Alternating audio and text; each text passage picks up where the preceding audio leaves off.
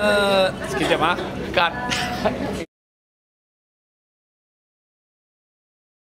Uh, saya anggap uh, kalau nak cerita calon saya memang setiap tahun banyak lah tapi dapat tak dapat itu lain cerita tapi kali ini first time telemovie saya uh, korban kasih abah pertama kali calon dalam telemovie itu ada harapan bagi saya lah sebab buat film uh, buat telemovie drama tak penting itu box office penting itu perasaan heavy drama. Ha, boleh lah calon ha, adalah harapan nak, nak, nak, nak dapat award.